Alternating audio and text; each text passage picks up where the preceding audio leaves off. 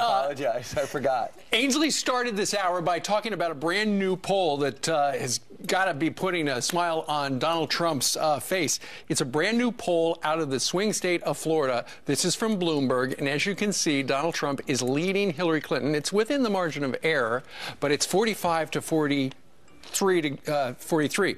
It's interesting. Investors Business Daily, which uh, last time was the most accurate, uh, this morning has them tied in a four-way race at 41. That's the one that, that called the Mitt Romney race to the T to the decimal, right? Right down to the decimal, exactly. Well, so well, it has them tied? Yeah, let's think about what has taken place. We have these Veritas tapes that show that violence was uh, perpetrated by DNC uh, operatives to, at the Trump rallies. Then we have the WikiLeaks stuff that unwind the fact that behind the scenes maybe the president and Hillary Clinton were not being honest with us when it came to the emails. Who would have thought? And now we have more revelations about what they knew or didn't know going in. A lot of stuff is regardless of what the Donald Trump campaign is doing. So he's trying to stay on message. And then all of a sudden, this news drops on Monday that even the president admits Obamacare is having big problems. He mm -hmm. calls it bumps in the road when it comes to how it's being produced and the subsidies that are necessary. Here is Donald Trump on the rising cost of Obamacare that could crash the entire program.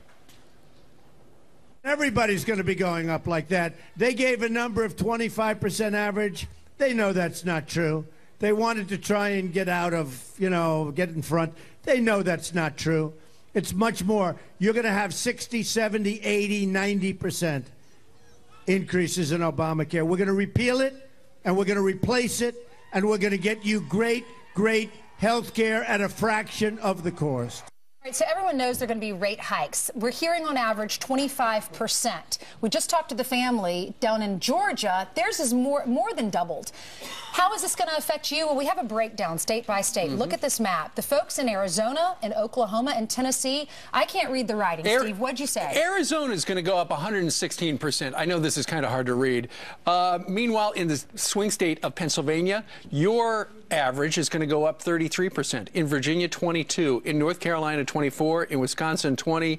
In Michigan, 16. Right, so the darker the color, the worse for you and your family, right? Yeah, no kidding. So get this. Uh, one thing is abundantly clear, and it doesn't necessarily mean that one candidate is going to win and another candidate is going to lose, but the crowds are actually growing on the Trump side. As more outlets and, and newspapers say, oh, this is over, it seems as though the, no one told the American people because they don't think it's over. Yesterday, as he was pulling up in Tallahassee, there were thousands of people walking to an event sure. that there was already sold out. Sean Spicer noted this, and you know he's a communications director with the RNC, and said this to Steve earlier about early voting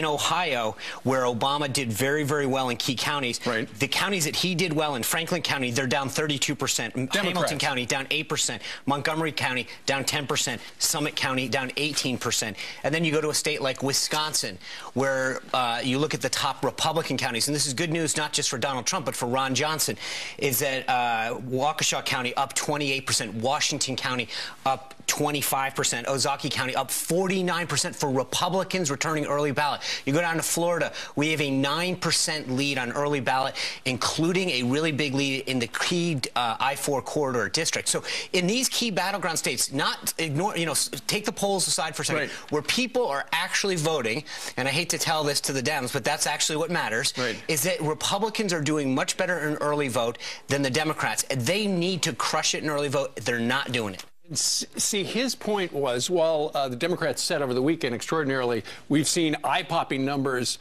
uh, in the early voting. Uh, the Democrats really need to energize their base. They, they, think that's happening. But if Sean Spicer is right, and they've got a certain intensity on the Republican side where people who are identifying as Republicans are doing the early voting, that actually benefits Donald Trump because in early voting, that tends to help Democrats.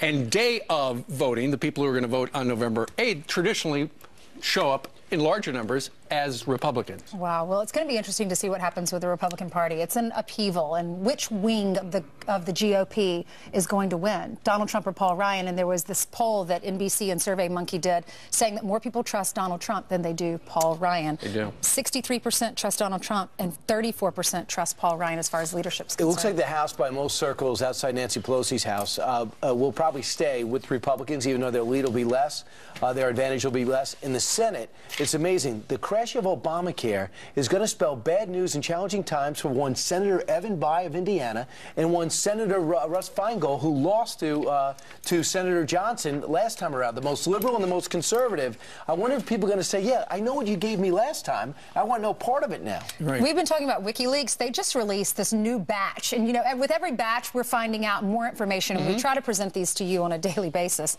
because they just keep going and going. You're not going to see him on another channel. No, you're not. There was an email from Huma Abedin, excuse me, who um, you know is part of her campaign staff, Mm-hmm. and she says about Hillary. In this, uh, this was from April 2015. Here Mm-hmm. it is. Read it on your screen. She says she's going to stick to notes a little closer this AM, this morning.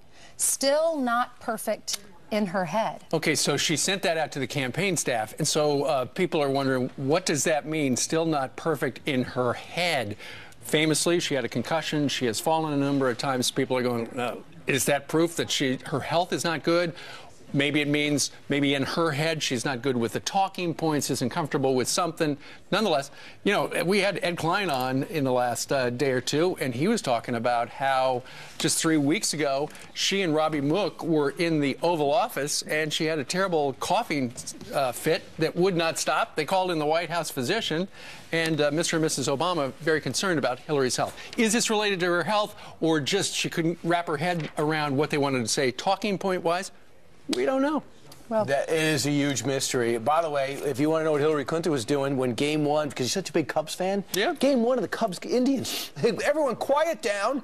Leave me alone. I gotta watch the game or go see Adele.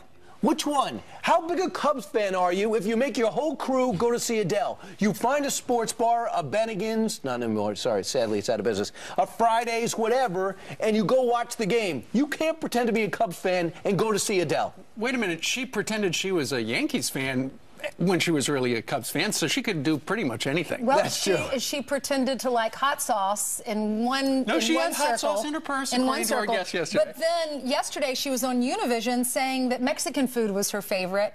And it was her birthday, so they Yeah. rolled out a cake. They didn't talk about the emo scandal. They rolled out a cake, and she did some no. salsa dancing.